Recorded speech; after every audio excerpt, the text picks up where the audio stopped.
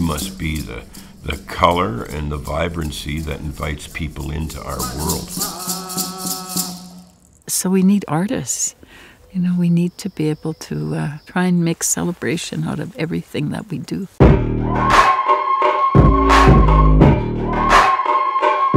I'm a rock star, need you to the wheels. We always strive to push the boundaries.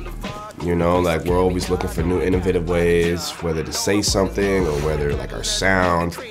You know, I heard this quote before that you have to learn the rules before you break them.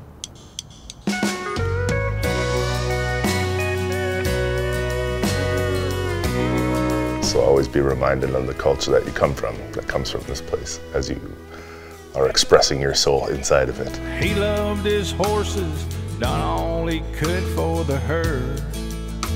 Was it's amplified.